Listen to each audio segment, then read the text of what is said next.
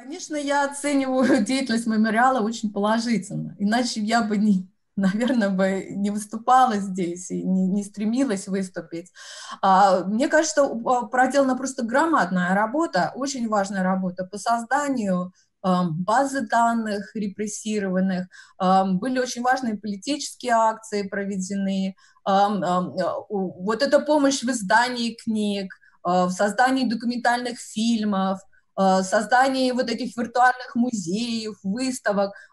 Просто колоссальная была проделана работа. И я надеюсь, что она и дальше будет продолжаться что для меня такое мемориал? К сожалению, мемориал, мемориал меня до, до сих пор к сотрудничеству не приглашал. Вот, но э, если говорить, кстати, в узком таком э, понимании, э, одна из моих книг в итальянском переводе, вот э, э, э, «За фасадом сталинской изобилия», она вышла на итальянском языке, она как раз вышла в рамках международного мемориала в Италии. Вот. Но по большому счету мемориал для меня и мне кажется, для России э, означает гораздо более важную вещь.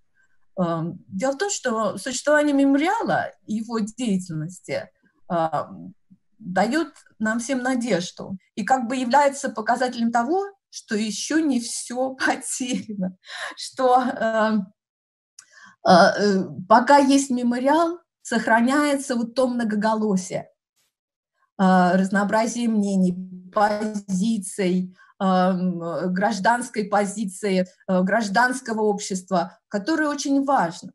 Понимаете, если не будет таких организаций, как «Мемориал», допустим, такого канала, как «Дождь», да, все сведется к одному единственному голосу, который будет звучать Первого канала. И все вернется вот к одной вот этой единой официальной трактовке истории в духе, как то было, краткого курса ВКПБ. Да? Пока существует мемориал, существует надежда, существует а, а, а, гражданская позиция, существует многообразие мнений. И а, для меня а, вот это вот существование мемориала именно вот этот индикатор. Если вдруг настанут такие ужасные времена, когда мемориала не будет, для меня это будет вот э, означать крушение вот какой-то надежды. А, как бы вот эта жирная черная точка, которая будет свидетельствовать о том, что да, вот мы можем сказать, что очень многое теперь уже потеряно. Пока еще, пока еще это многоголосие звучит, есть возможность